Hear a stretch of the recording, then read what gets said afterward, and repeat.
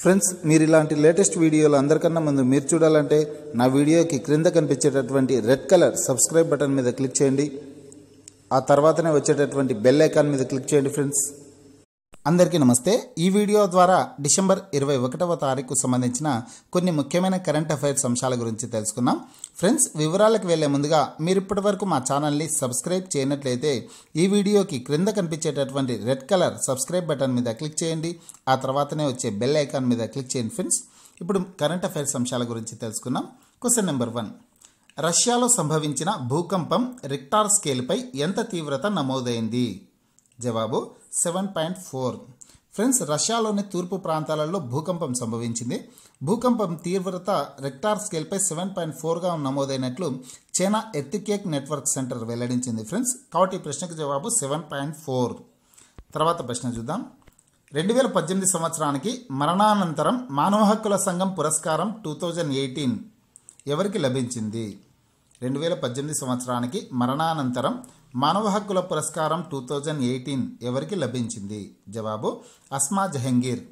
Friends Pakistan మానవ హక్కుల ఉద్యమగారిని అస్మా జహంగీర్కు మరణానంతరం యుఎన్ఓ మానవ హక్కుల పురస్కారం టూ థౌజండ్ ఎయిటీన్ లభించింది. తర్వాత ప్రశ్న చూద్దాం. ఆసియా చెస్ ఛాంపియన్షిప్ విజేత ఎవరు? జవాబు Padmini Raut.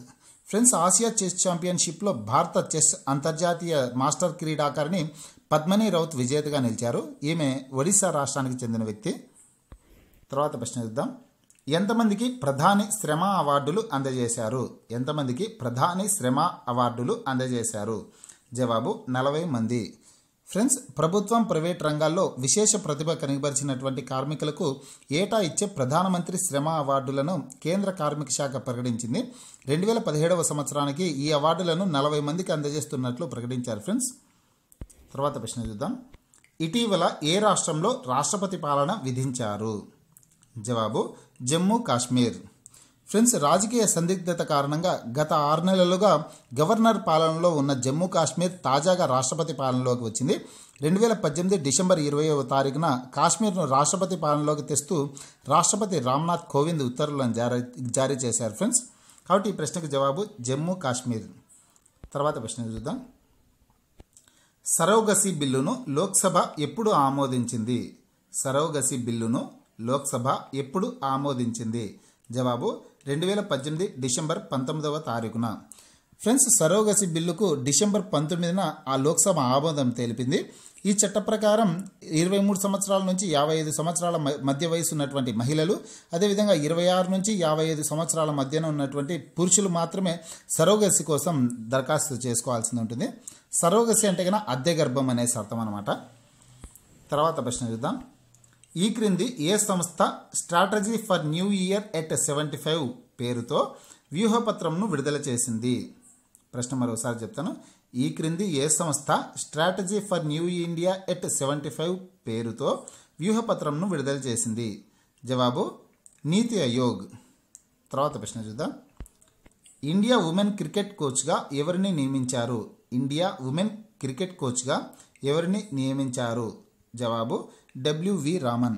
Friends W V రామన్ను భారత మహిళా క్రికెట్ కోచ్గా నియమించారు. ఇతను తమిళనాడు రాష్ట్రానికి చెందిన వ్యక్తి వ్యక్తి ఫ్రెండ్స్ ఇతను ఇంతకు ఇంతకు ముందు వచ్చేసి బెంగాల్ రంజీ ట్రోఫీకి కోచ్గా పనిచేశారనమాట తర్వాత ప్రశ్న చూద్దాం. Cement export two thousand eighteen ఎక్కడ జరిగింది? Cement export two thousand eighteen ఎక్కడ జరిగింది? జవాబు హైదరాబాద్. తర్వాత ప్రశ్న చూద్దాం. చేంజింగ్ ఇండియా పుస్తకం ఎవరు ఆవిష్కరించారు? చేంజింగ్ ఇండియా పుస్తకం ఎవరు ఆవిష్కరించారు? జవాబు Manmohan Singh. Friends changing India పుస్తకాన్ని మాజీ ప్రధానమంత్రి డాక్టర్ మన్మోహన్ సింగ్ న్యూఢిల్లీలో ఆవిష్కరించారు. భారతదేశంలో జరుగుతున్న ఆర్థిక పరిణామాలపై ఈ పుస్తకాన్ని రాశారు ఫ్రెండ్స్ ఈయన. ఫ్రెండ్స్ ఇవి ఈ రోజుకు సంబంధించినటువంటి లేటెస్ట్ కరెంట్ అఫైర్స్ అంశాలు. మీకు ఈ వీడియో నచ్చినట్లయితే లైక్ చేయండి షేర్ చేయండి. ఈ వీడియోకి క్రింద కనిపించేటటువంటి రెడ్ కలర్ సబ్స్క్రైబ్ బటన్ మీద క్లిక్ చేయండి.